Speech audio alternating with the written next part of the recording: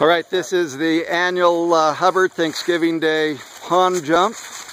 Uh, this is the preparation. They're getting psyched up. We got Barry and Shayla, Brian and Steven. Yeah, this is a little video. I'll post Claire, on YouTube. Claire, you need to be here right now, okay? Claire, uh-huh. I'm doing this for you. Right there.